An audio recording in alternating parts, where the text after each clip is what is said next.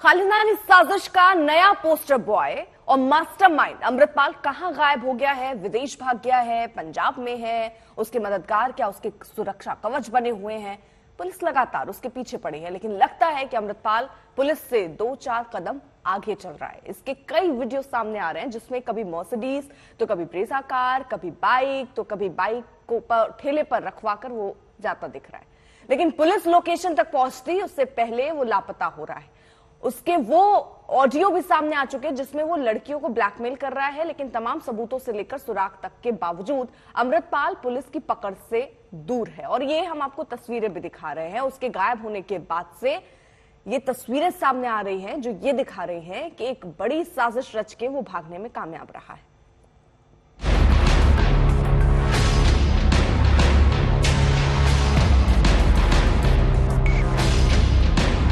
एक अमृतपाल। और उसके कई चेहरे। कुछ तो ऐसे हैं जो बेहद ही हैरान करने वाले हैं। कुछ तो ऐसे हैं जो बताते हैं कि उसे ना तो किसी मज़हब से कोई लेना देना है और ना ही वो कोई संत है। हुलिया बदल बदल कर भागने वाला, पुलिस की आँखों में धूल झोंकने वाला, देश के खिलाफ साजिश रचने वाला अमृतपाल एक ब्लैक मेलर भी है। अब अमृतपाल पर जो खुलासा हुआ है, वो बेहद चौंकाने वाला है। दरअसल वो लड़कियों को धोखे से अपने जाल में फंसाता था और उन्हें ब्लैकमेल भी करता था अमृतपाल का ये ऑडियो सुनिए ਮੈਂ ਤਾਂ ਕਿਹਾ ਵੀ ਤੂੰ 60 ਮਿੰਟ ਆਸਟ੍ਰੇਲੀਆ ਵਾਲਿਆਂ ਨੂੰ ਮੇਰਾ ਹੀ ਦੱਸ ਦੇ ਵੀ ਸਾਡਾ ਸਬੰਧ ਹੈ ਆਪਸੀ ਨਹੀਂ ਜਾਇਜ਼ ਰੌਲਾ ਪਾ ਦੇ ਮੈਂ ਹਾਂ ਇਹ ਤਾਂ ਗੱਲ ਹੈਗੀ ਆ। ਕਹਿਣ ਨੂੰ ਜਨਾਨੀਆਂ ਕਹਿੰਦੀਆਂ ਵੀ ਕੋਈ ਗੱਲ ਨਹੀਂ ਕੋਈ ਗੱਲ ਨਹੀਂ ਪਰ ਜਨਾਨੀਆਂ ਸੀਰੀਅਸ ਹੋ ਜਾਂਦੀਆਂ ਬਸ ਛੇਤੀ ਆਪਾਂ ਤੇ ਪਈ ਇਹ ਕੰਮ 'ਚ ਪੈਣਾ ਹੀ ਨਹੀਂ ਤੇ ਛੋਟੇ ਛੋਟੇ ਵਿਆਹ ਠੀਕ ਹੈ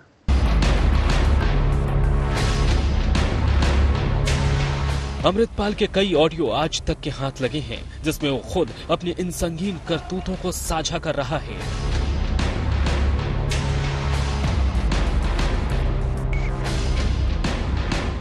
ਹੁਣ ਫਿਰ ਬਾਅਦ 'ਚ ਮੈਂ ਨਾ ਉਹਦੀ ਸਕਰੀਨ ਰਿਕਾਰਡਿੰਗਾਂ ਕੀਤੀਆਂ ਸਾਰੀਆਂ ਸਨੈਪਚੈਟ ਦੀਆਂ ਦੂਜੇ ਫੋਨ ਤੋਂ ਫਿਰ ਮੈਂ ਉਹ ਵੀ ਚੰਗੀ ਖੱਚ ਕੀਤੀ।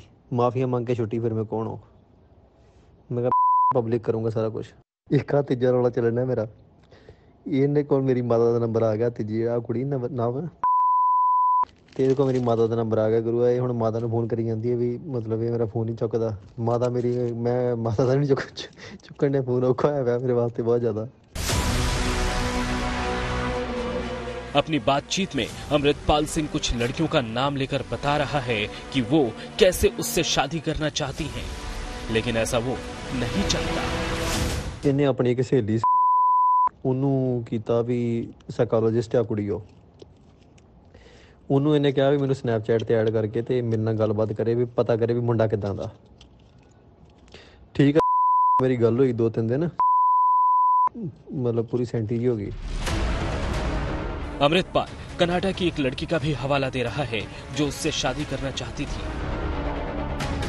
ਉਹ ਯਾਰ ਇਹ ਕੁੜੀ ਮੇਰੇ ਬੜੀ ਵਜਰ ਦੀ ਪਿੱਛੇ ਪਈ ਆ ਕਹਿੰਦੀ ਵੀ ਮੇਰੇ ਨਾਲ ਵਿਆਹ ਕਰਾ ਲਾ ਭਾਵੇਂ ਕੰਟਰੈਕਟ ਮੈਰਿਜ ਕਰਾ ਲਾ ਤੇ ਮੇਰੇ ਨਾਲ ਬਾਹਰ ਚਲਾ ਜਾ ਇਹਦੇ ਕੋਲ ਪੀਆਰ ਹੈ ਕੈਨੇਡਾ ਦੀ अमृतपाल कई लड़कियों से चैट करता था उन्हें अपने झांसे में फंसाता था फिर उन्हें धोखा देता था उन्हीं में से कुछ लड़कियों के चैट के स्क्रीनशॉट आज तक के हाथ लगे हैं इस ब्लैकमेलिंग वाली साजिश के साथ साथ अमृतपाल को लेकर एक खुलासा ये भी है कि वो देश छोड़कर कनाडा भागने की फिराक में था। इसके लिए उसने 2021 में ही टेम्परेरी वर्क परमिट के लिए अप्लाई किया था। बात आगे भी बढ़ चुकी थी, लेकिन मकसद पूरा नहीं हो सका। आज तक ब्यूरो। मंजीत सहगल हमारे साथ हमारे सहयोगी जुड़ चुके हैं और अपडेट के साथ। मंजीत, कई सुराग तो हाथ लगे हैं, लेकिन अगर कुछ हाथ नहीं लगाए तो वो है अमृतपाल।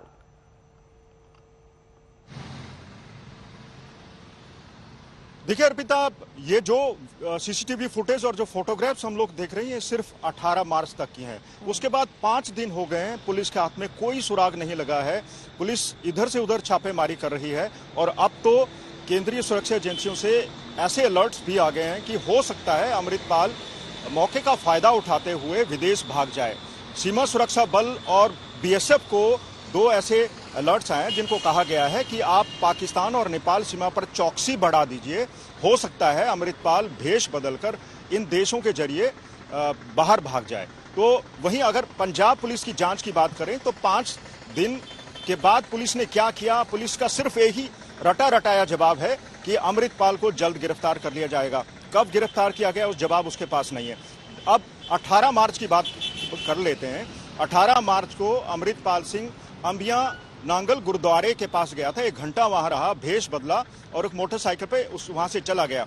वहीं से उसने गुरुद्वारे के ग्रंथी का मोबाइल छीनकर कुछ मोबाइल फ़ोन कॉल की थी। एक कॉल रिवाड़ी में की गई थी, दो कॉल स्थानीय लोगों को की गई थी, जो बाद में बाइक लेकर वहाँ पर पहुँचे। अब पुलिस इन मोबाइल फ़ोन कॉल्स के ज़रिए ही आगे बढ़ रही है।